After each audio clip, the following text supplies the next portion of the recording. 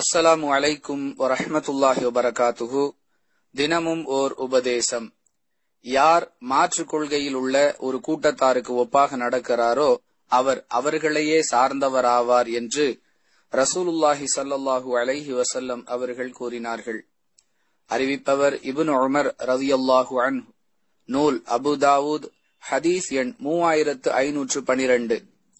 அன்பிற்குரிய அல்லாஹுவின் நல்லடியார்களே நம்முடைய வாழ்க்கை நெறியை எவ்வாறு அமைத்துக் கொள்ள வேண்டும் என்பதை நம்மை படைத்த இறைவன் தன்னுடைய தூதர்களின் நடவடிக்கைகள் மூலமாகவும் அவர்களுக்கு வழங்கப்பட்ட வேத வரிகளின் மூலமாகவும் நமக்கு கற்றுத் தந்திருக்கிறான்.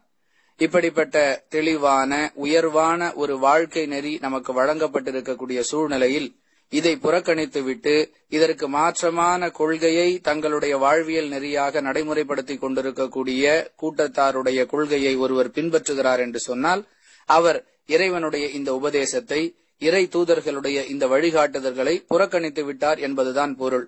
இதைத்தான் அல்லாஹுடைய தூதர் சல்லல்லாஹு அலஹி வசல்லம் அவர்கள் மாற்றுக் கொள்கையில் நடக்கக்கூடியவருக்கு ஒப்பாக ஒருவர் நடந்தால் அதாவது அவர்களுடைய நடைமுறையை அவர்களுடைய கலாச்சாரத்தை அவர்களுடைய செயல்பாடுகளை ஒருவர் பின்பற்றினால் அதுபோன்று தங்கள் தன்னுடைய திட்டத்தை அமைத்துக் கொண்டால் இவரும் அவர்களை சார்ந்தவர் என்று சொல்லுகிறார்கள். அதாவது இஸ்லாமிய வட்டத்தை விட்டு அவர் வெளியேறிவிட்டார் என்று எச்சரிக்கும் விதமாக அல்லாஹுடைய தூதரின் இந்த கண்டனம் அமைந்திருக்கிறது.